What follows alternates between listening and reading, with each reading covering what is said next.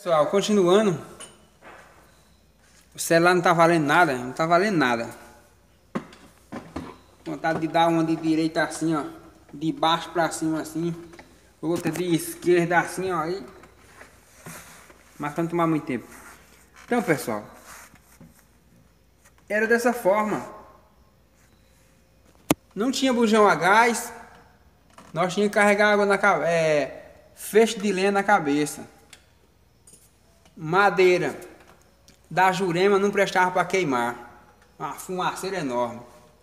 A madeira cicupira, uma fumaça terrível, não prestava para cozinhar, né? A melhor madeira que nós achava era a madeira candinheira, a madeira é, Braun também era boa para queimar, que a, a brasa era essa tocha viva, boca quente. Também a catingueira. Era uma madeira boa para queimar. Então o que acontece? Não tinha bujão de gás. Né? Hoje o camarada tem um bujãozinho de gás dentro de casa, tem um fogãozinho a gás. Não tinha água na torneira, tinha que carregar na cabeça de longe. Hoje o camarada tem água na torneira né? Não tinha uma geladeira para botar carne para seco para não arruinar. Hoje o camarada tem uma, uma geladeirinha dentro de casa. As carnes eram secadas no varal assim, ó. Tinha que lascar sal, lascar sal, senão o bicho, a mosca de varejeira, aquela mosca azul assim, ó, quase tamanho de um dedo, cagava bicho em cima. E aquilo ali é o seguinte, ó, é pousou, é assim, ó, não é pousou lá e ficou assim, ó. Pra pôr o bicho. É assim, ó. Pousou, pousou, voou, já ficou o bicho lá. É terrível. Vamos resumir? Vou resumir aqui para não ficar muito grande. A vida antigamente não era fácil. Não era fácil. Hoje evoluiu tudo. Tá tudo evoluído. Até as máquinas de cortar cana agora não é mais o homem que parecia um, um, um animal, um burro, um cavalo, um jumento, que só faltava morrer. Tinha gente que se matava, acabava cortando as pernas, num calor terrível, onde dava uma hemorragia, ele morria. Outro morria agarrado em torceira de cana porque dava um infarto fulminante, ele morria ali com o sol muito quente, a cana muito quente. Como eu fui muito tempo, trabalhei muito tempo de boia fria, né? Era aquela dificuldade. Só que o povo vivia, trabalhava e ia embora. O que eu quero dizer com isso hoje? Hoje tem empresas aí, ó, dando serviço para quem quer trabalhar. O povo não quer. Aí fala que o Brasil tá arrebentado. E tá, eu concordo com você. O Brasil tá lascado. É só Jesus para mudar, mudar a situação do Brasil. É só Jesus. É só Jesus para mudar a situação do Brasil. Mas não vem com disfarce que tudo tá lascado, que tudo tá arrebentado. Pode estar tá arrebentado o mundo, mas você tá vivo.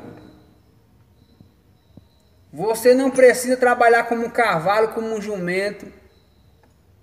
Você tem que usar isso aqui, ó, que Deus te deu, a cabeça, ó. Deixe de trabalhar com os braços e trabalhe com a cabeça, que você vai ver se você não vai para frente. É nós que temos que mudar a história do Brasil, mas o povo não quer mudar. Para nós começar a querer que entre alguém de frente para pôr lei, pôr ordem nessa casa, primeiro nós temos que dar ordem na nossa casa, nós não dá. Nós quer cumprir justiça, mas nós somos uns injustos. Entra no negócio que dá dinheiro, já esquece do companheiro. Opa, vou falar para ele não, porque senão ele vai acabar ganhando dinheiro também e o negócio vai ficar ruim, né? Olha, de repente ele ganha, ele sobe e eu fico, olha, ou ele toma meu emprego. Os ricos, os ricos, milionário, bilionário, são unidos um com o outro. Já o pobre não se une, não, não dão as mãos para crescer, para sair do buraco. É, pessoal. Olha, era bit, é, hoje é bitorneira para bater essa massa, o concreto que vai no chão aqui, ó, da casa. Antigamente era cavado na chibanca, no picarete ou no enxadeco, cavado e jogado aquele montonha de, de, de pedra de lajeiro que era quebrado na marreta de 5 quilos. Hã? Hoje joga uma massinha com uma na bitorneira ali, ó. E a bichona vai, braco, braco, braco, braco, braco, braco, braco. Tá pronta a massa. Ou quando não, foi modificando mais um pouco, era na enxada mexendo pedra no asfalto quente. Um peso de rebentar um cado desse tamanho na mão. Né? Então o que acontece, pessoal? Na idade de 14 anos, assassinaram meu pai, morreu nos meus braços, arrancaram os olhos dele de facão e de faca, arrancaram o nariz dele, arrancaram os braços, rasgaram ele até embaixo, morreu em cima de mim. Quando ele estava morto em cima de mim, que eu não pude correr, que eu tinha apenas 14 anos tentando levar ele aqui, tomei da mão dos marginal, mais de 20 homens rodeados, só sangue esguichando assim, ó. Igual você tá trabalhando de servente de pedreiro e você acerta um enxadão ou um ferramenta num cano de água que você não viu no chão enterrado e psh, aquele ponto de água. Assim era de sangue do meu pai. Então o que acontece? Passei tempos depressivos, mas quando meu pai estava morrendo em cima de mim, eu jurei, prometi que eu ia estourar as mãos de calo, se fosse preciso. Mas eu ia cuidar de minha mãe e de meus irmãos. Que ficamos, ficamos aí em seis. Uma menina morreu porque não tinha médico, porque o médico disse que estava no órgão. No carnaval. Não atenderam a menina, a menina morreu por falta de médico. Porque dizendo eles, tá é carnaval, é festa de carnaval. Na putaria, na safadeza, na pornografia de Satanás. Né? Mas vamos voltar aí. Então, eu acreditei que Deus ia abrir porta para mim e para minha família. Em Alagoas nós passava fome, porque não tinha o que comer. Minha mãe desmaiava de fome na rua porque não tinha o que comer. Mesmo trabalhando, não tinha o que comer porque os prefeitos eram ladrão não pagava ela direito. Quantas das vezes eu vi minha mãe chorando à noite e eu dizia, mãe, pelo amor de Deus, mãe, vamos no médico, mãe, vamos pro hospital, o que, é que a senhora está sentindo? E muitas das vezes ela dizia, meu filho, você não sabe que é fome que eu tenho, eu tô é com fome.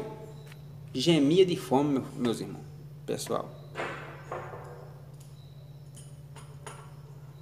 Então eu disse para Deus: um dia uma porta se abre, um dia uma oportunidade se abre.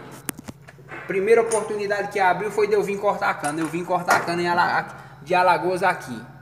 Já chamei o irmão meu, que a passagem era só para mim e irmã minha. Chamei o irmão meu e disse: Vamos embora. Pronto. Lutemos juntos, estamos aí. Trabalhei, voltemos lá, buscamos a família. É uma história muito longa, não vou contar isso aí muito, muito não, para não, né? Mas fiquei no corte de cana, quatro anos, foi luta. Mas eu acreditei que Deus tinha algo diferente, pessoal. Nós temos que crer em sonhos, nós temos que crer no imaginável. Tem coisas grandes para nós. É só nós querer ir atrás. Mas está querendo que Deus jogue do céu? Ó, oh, vou encerrar aqui já. O celular não tá valendo nada, já tá querendo descarregar de novo. Antes que eu meta ele no chão, que eu já não, não tenho paciência com celular velho, já comprei uns 10 celular, 1500, 1300, é, 800, 900 e, e, de 3000 dizendo que era bom. Ah, o, não prestou pra nada. Olha,